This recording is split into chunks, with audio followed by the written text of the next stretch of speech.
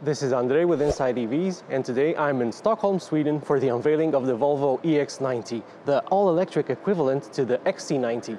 And while the two cars may look somewhat similar, they actually share no mechanical components. This is actually based on the same platform that underpins the Polestar 3. So it has the same 111 kilowatt hour battery pack, the same motors, the same charging capacity, and everything else. It is a bit more luxurious and a bit more practicality minded, plus it's a three-row SUV, so um, it will appeal to a different audience. Let me show you around the vehicle. But before we get more into this, please make sure to subscribe to the Inside EVs YouTube channel to not miss any of our videos. First, I just have to show you the EX90's ridiculously cool headlights. They have the industry's first application of daytime running lights that actually open like a human eye to reveal the projectors that light up the road ahead at night. While at the unveiling, I couldn't get enough of seeing them in action. They give the Volvo EX90 a very futuristic feel, but without feeling like an exaggeration, even if they only serve an aesthetic purpose, which is to preserve the hammer motif, both when just the DRLs are shining, as well as when the actual headlights are on. You may have also noticed the bump above the windscreen. That's where Volvo put the EX90's LiDAR which can apparently see in complete darkness up to a distance of 250 meters, which is around 820 feet. The vehicle also has ultrasonic sensors all around, including sideward-facing ones embedded in the side skirts, plus cameras pointing in all directions, 8 of them in total. Volvo also equipped the vehicle with cameras inside to not only detect if the driver is drowsy, distracted or unwell, but also to alert the driver if he forgot a small child or animal inside the vehicle. They're apparently so sensitive that they can detect a small dog panting. During the Volvo EX90's international reveal, we chatted with Robin Page, Volvo's head of global design and UX, who explained why the vehicle looks the way it does. When I asked why the company didn't go for a more daring approach to the Volvo EX90's design, Robin Page suggested that Volvo buyers are more conservative and they prefer simple minimalist designs as opposed to unneeded over-design. I asked him why the model didn't come with a fake grille, like many EVs do in order for the brand look to be maintained across the range, and he simply replied that it would go against Swedish design principles of minimalism and purity. There's no style for style's sake here. He also pointed out that the EX90 has longer front and rear overhangs compared to the XC90, and that this is done to improve aerodynamics. They haven't made its drag coefficient public yet, but it's apparently very slippery for this type of vehicle. If you're one of those people who think all EVs should have a front trunk, well, you will be pleased to know that the EX90 does have one. It's not very large though, with a maximum load volume of 37 liters or about 1.3 cubic feet. Enough for a charging cable and maybe a shopping bag, but probably not both. Moving to the side of the vehicle, its shape is instantly familiar, looking like an evolution of the XC90's design you can't really see the aforementioned extra overhang, possibly because of the large 22 inch wheels. These will be the largest available, but there will also be 20 and 21 inch wheels.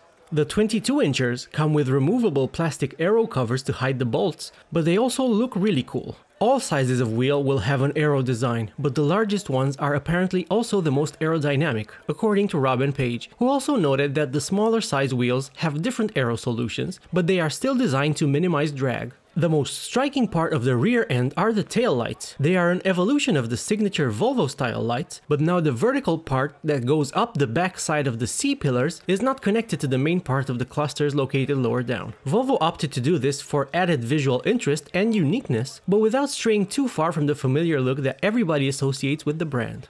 The interior is a stunning exercise of minimalist Swedish design. The focal point is a 14.5-inch portrait-style infotainment display where the vehicle's functions are concentrated. Volvo even relocated the hazard warning light to the screen, although it's still present as a physical button in a panel above the driver, for legal reasons.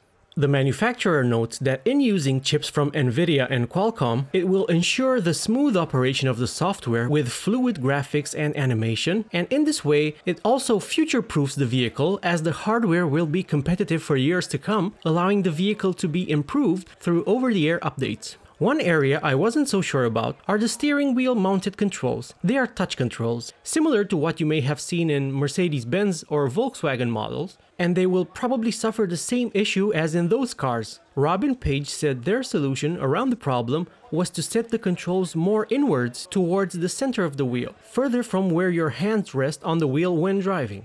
The manufacturer seemed very proud of how sustainable the EX90's interior will be. Instead of leather, it has created a leather-like material called Nordico, which sounds like a Nordic take on Mercedes Artico artificial leather. You will be able to choose either this material for the upholstery or a very pleasant wool-based fabric option that everybody seemed to be very excited about, and for good reason, since it really felt plush and luxurious, giving the vehicle a distinct cozy feel. Before we move on to more technical matters, I also have to show you the unique unique mood lighting inside the EX90, which is actually embedded into and shines through the wood trim. This is very subtle and you only get to see it in the dark, but I was able to capture it on camera and I have to say it looks really unique and tasteful.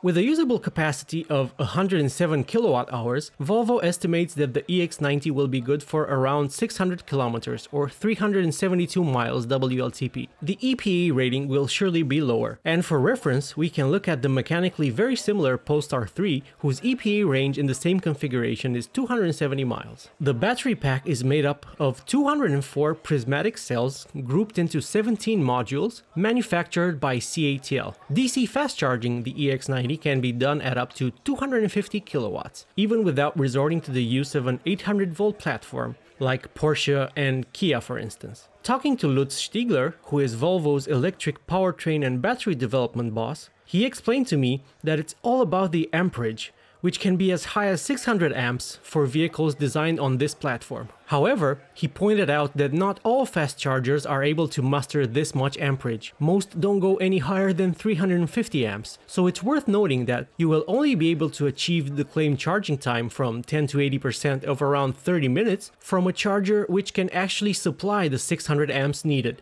For reference, from a 50 kilowatt charging station, now very common across Europe, you will have to wait over an hour and a half for the vehicle to fully charge. The Volvo EX90 will most likely only come with the dual motor configuration. The vehicle on display had the 350 kilowatt or 510 horsepower powertrain, which is the same as the Polestar 3 with the performance pack. The vehicle isn't quite ready for production, which is why Volvo only had one that you could see the interior of at the event. This Volvo EX90 is probably hand-built specifically for this event. That's most of what I learned about the Volvo EX90 during my trip to Sweden. I hope you enjoyed the video. Thank you for watching.